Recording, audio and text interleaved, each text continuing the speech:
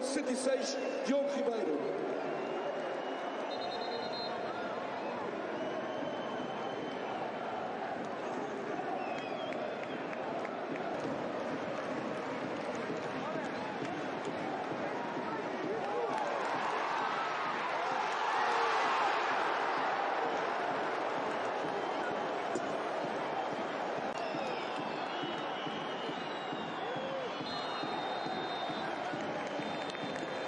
Final da partida!